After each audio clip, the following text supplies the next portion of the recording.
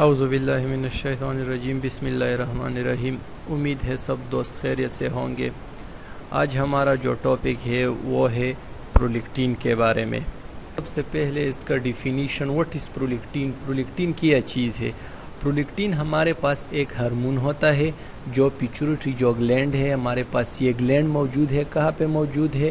Base of the brain बिल्कुल brain के base में ये मौजूद है। ये प्रोलिक्टीन को प्रोड्यूस करता है। और इसको आप लेक्टोट्रोपिन भी कह सकते हैं। Prolactin function. अब हम आते हैं प्रोलिक्टीन के फ़ंक्शन पे कि प्रोलिक्टीन का मेन फ़ंक्शन क्या है। प्रोलिक्टीन का is the breast to grow. ये जो छाती होता है, फीमेल का जो छाती होता है, इसके ग्रो में ये बहुत ज़्यादा अहम रोल अदा करता है। और साथ साथ में milk, make milk during pregnancy and after birth.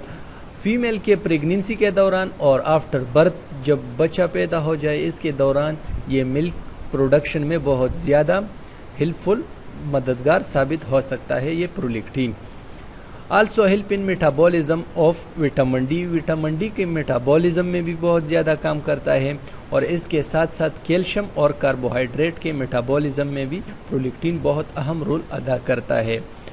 और प्रोलिक्टीन का जो दूसरा जो फ़ंक्शन है, वो है prolactin. Also help in men testosterone secretion जब टिस्टिस्टीरोन सिक्रीट होता है तो इसके फ़ंक्शन में भी प्रोलिक्टीन का बहुत अहम किरदार है। अच्छा और फिर है why prolactin diagnosis is important यानी इसका प्रोलिक्टीन का जो डायग्नोसिस है, वो क्यों इम्पोर्टेंट है? क्यों ज़रूरी है? ये इसलिए ज़रूरी है डायग्नोज अ प्रोलिक्टिनोमा हमारे पास ट्यूमर ऑफ़ पिचुरिटी ग्लैंड जो आपकी पिचुरिटी में ट्यूमर पैदा हो जाए तो इसको कहते हैं प्रोलिक्टिनोमा। तो प्रोलिक्टिनोमा डायग्नोसिस करने के लिए भी हम प्रोलिक्टिन का जो टेस्ट है, वो करते हैं, वो डायग्नोस करते हैं। और दूसरा जो डायग्नोस हम किस चीज़ के लिए डायग्नोस करते हैं? Find cause of women menstrual irregularities and infertility और इसके साथ साथ हम प्रोलिक्टीन का जो डायग्नोसिस है मेनली हम इसमें इनफर्टिलिटी बांझपन जो होता है और मिजेंशल वामेन का जो मिजेंशल इरेगुलरिटी है, उसको फाइंड आउट करने के लिए डायग्नोस करने के लिए हम ये प्रोलिक्टीन का टेस्ट करते हैं। और तीसरे नंबर पर हमारे पास जो है, वो help find the case of man low sex drive जो मैन का सिक्स ड्राइव है, वो इसमें एबनॉर्मिलिटीज़ आ जाए, थोड़ा कम हो जाए तो इसको डायग्नोसिस करने के लिए भी हम प्रोलिक्टीन का टेस्ट करते हैं और साथ साथ में जब मेल का इरेक्टाइल डिसफंक्शन जब हो जाए तो इसके लिए भी हम प्रोलिक्टीन का टेस्ट कर सकते प्रिस्क्राइब करते हैं। और फिर हमारे पास जो फोर्थ नंबर पर है वो है ग्लिकिटोरिया ग्लिकिटोरिया हमारे पास एक कंडीशन है जिसमें मिल्क की निपल डिस्चार्ज हो, जाता है। जो फीमेल का जो निपल होता है जो छाती का जो निपल होता है इससे अनरिलेटेड नॉर्मल मिल्क से ज़्यादा डिस्चार्ज हो जाता है। तो इसके लिए हम प्रोलिक्टीन का टेस्ट कर सकते हैं और इसको डायग्नोसिस करने के लिए हम प्रोलिक्टीन का टेस्ट करते हैं। और फिर हमारे पास जो लास्ट में है, वो है इमुनूरिया इमुनूरिया एक ऐसा कंडीशन है जिसमें मेजोरेशन जो पीरियड होता है, वो बिल्कुल एबसेंट होता है। फिर हम आते हैं नॉर्मल रेंज प्रोलिक्टीन का जो नॉर्मल रेंज है, वो कितना है? सबसे पहले ये बात आप जहन में याद रख लें कि हर लेब का और हर जो लेबॉर्ट्री का अपना नॉर्मल रेंज होता है और साथ साथ में हर लेबॉर्ट्री का जो मशीन होता है, इसकी सेंसिटिविटी और स्पेसिफिसिटी एक दूसरे से डिफरेंट होता है, मुख्तलिफ़ होता है। तो इसलिए ये वैल्यू सारे जितने भी वैल्यू है नॉर्मल रेंज है, वो एक दूसरे से काफ़ी मुख्तलिफ़ और डिफरेंट होते हैं। सो सबसे पहले हम आते हैं मेन के जो मेल है आदमी है, इसके वैल्यू पे आता है कि प्रोलिक्टीन का नॉर्मल वैल्यू मैन में, आदमी में कितना है तो वो है लेस देन 20 निनोग्राम पर मिलीलीटर ये मैन में है और दूसरा हमारे पास जो है, वो है non pregnant women non pregnant women में प्रोलिक्टीन का वैल्यू कितना है? लेस देन 25 निनोग्राम पर मिलीलीटर और लास्ट में हमारे पास जो है, वो है प्रेग्नेंट वोमेन प्रेग्नेंट वोमेन में प्रोलिक्टीन का जो वैल्यू जो है, वो है 20 से लेकर 400 नैनोग्राम पर मिलीलीटर तक है।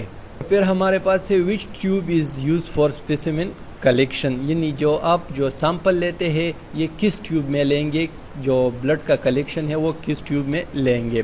सबसे पहले आप the blood should be three to three M L और फाइव एम एल आपको तीन से लेकर पाँच एम एल तक खून का नमूना लेना होगा। और फिर आप जेल ट्यूब में भी आप ये ले सकते हैं। और साथ साथ दूसरे नंबर पर हमारे पास जो है वो है रेड टॉप ट्यूब। इधर आपको नज़र भी आ जाएगा, यह, ये जेल ट्यूब है और ये रेड टॉप ट्यूब है। और थर्ड नंबर पर हमारे पास जो है वो है ग्रीन टॉप ट्यूब। इसमें आप स्पेसिमिन कलेक्ट कर सकते हैं फॉर प्रोलिक्टीन डायग्नोसिस। और फिर हमारे पास है in which condition prolactin is increasing. ऐसा कौन से हालात है जिसमें प्रोलिक्टीन ज़्यादा हो जाता है?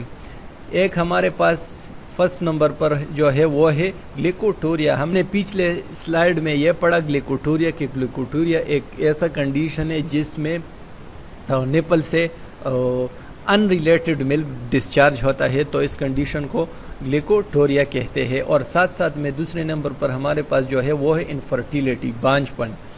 और तीसरे नंबर पर है ब्रेस्ट फीडिंग जो ब्रेस्ट फीडिंग वोमेन होते हैं।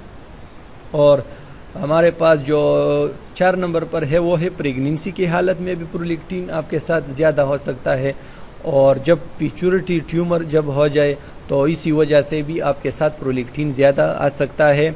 और हमारे पास जो सेकंड लास्ट है, वो है हाइपोथेलेमस ट्यूमर जब हाइपोथेलस हाइपोथेलेमस में कोई ट्यूमर आ जाए तो इसी वजह से भी हमारे पास प्रोलिक्टीन का जो मकदार है, वो ज़्यादा हो सकता है और जो हमारे पास है आखिरी है लास्ट वन है, वो है लो सिक्स ड्राइव इसकी वजह से भी हमारे पास प्रोलिक्टीन का जो नॉर्मल रेंज है, वो ज़्यादा आ सकता है।